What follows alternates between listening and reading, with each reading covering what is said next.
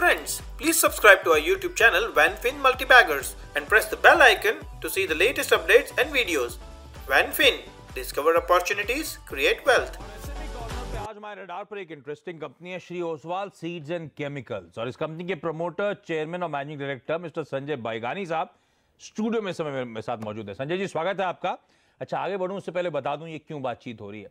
क्योंकि इस हफ़्ते 7 जून यानी कि गुरुवार को इस एसएमई का आईपीओ खुलना है जो 12 जून, अगले हफ़्ते मंगलवार को बंद होगा। 25 से 26 रुपए का प्राइस बैंड 45 लाख शेयरों का इशू तो कुल मिलाकर करीबन 12 करोड़ रुपए जुटाने की इस कंपनी की योजना है और 4000 शेयरों का लॉट साइज़ है। यानी कि अगर एक लॉट के लिए लगा रहा हूँ मैं तो एक लाख चार हज़ार रुपए में वो एक लॉट आएगा। तो Shri Oswal Seeds and Chemical Sanjay ji, मैं पढ़ रहा था एग्रीकल्चरल सीड की प्रोसेसिंग और उसको बेचने का काम। तो पहले तो धंधा समझाएँ एग्रीकल्चर सीड की प्रोसेसिंग बेचने का कौन कौन सी सीड्स क्या धंधा है क्या करती है ये कंपनी सर हमारी कंपनी 2002 में स्टार्ट हुई है हम्म। और हमारा सीड प्रोडक्शन का काम है जिसमें कॉन्ट्रैक्ट फ़ार्मिंग करके सीड का प्रोडक्शन में आ, हमारी खुद की आरएनडी भी है हम्म। और रिसर्च सर्टिफाइड नोटिफाइड वेराइटियों का सीड प्रोडक्शन किया जाता है और हमारी ओन ब्रांड करके इसको हम ओसवाल के नाम ओसवाल ओसवाल ब्रांड में हम सात स्टेट में काम करते हैं एमपी महाराष्ट्र राजस्थान गुजरात। काम करते हैं मतलब एमपी में Sales- काम sales होता है हैं। बेचते हैं यहाँ पे? सेल्स करते हैं हमारे प्रोडक्ट को सेल्स करते हैं। और प्रोडक्शन होता है हमारा मेजरली एमपी और राजस्थान में। अच्छा दो जगह प्रोडक्शन जी हम अभी हमारी 130 डिस्ट्रीब्यूटर की चैनल है जो डीलर रिटेलर करके करीबन 4000 लोग हमारे इस प्रोडक्शन आपका मार्केट तो किसानों को एड्रेस करना होता है उन, उनको बेचना ही है। जी। है ना? जी।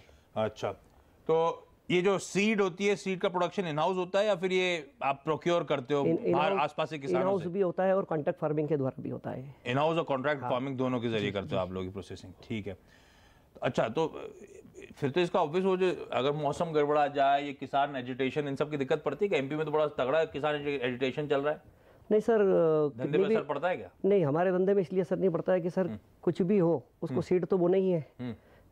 फर्टिलाइज़र हो सकता है कि बाद में अगर बारिश नहीं आवे या कोई समय समस्या आ जाए तो हो सकता है कि उसमें इफ़ेक्ट आ जाए बाकी उसको खेत खाली रख नहीं सकता है। उसको सीड बोना ही है।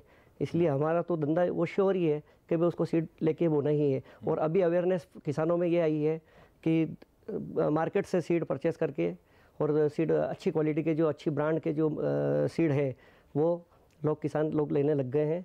उससे क्या है कि उनका प्रोडक्शन भी ज़्यादा आने लग गया है। जैसा कि मोदी जी का भी सपना है कि किसानों की आय को डबल करना है। तो डबल करने के लिए कहीं हमें भी इसका बेनिफिट हमारी सीड कंपनी को दिखता हुआ नज़र आ रहा है।